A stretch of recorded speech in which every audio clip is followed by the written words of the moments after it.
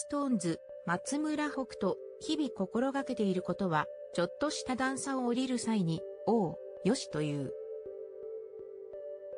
SixTONES の松村北斗、28と、女優の上白石萌音、26が10日、都内で行われたダブル主演映画、夜明けのすべて、三宅翔監督の公開記念舞台挨拶に出席した。瀬尾舞子氏の同名小説が原作。月に一度、PMS、月経前、症候群で、苛立ちが抑えられなくなる、女性会社員と、パニック障害を患う同僚が悩みを抱えながら、社会生活を送るストーリー。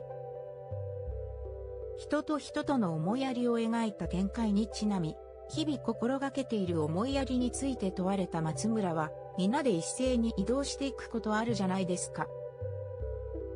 後方の人たちの会話が弾んでいる時に、ちょっとした段差に気づかないかもしれないと思って、段差を降りる時に、大げさに、おう、よしというようにしています。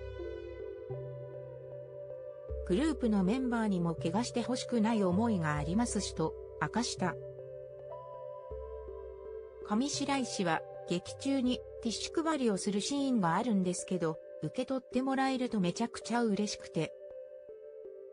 私も誰かにとっていいお客さんでいたいなということを意識していますとコメントした。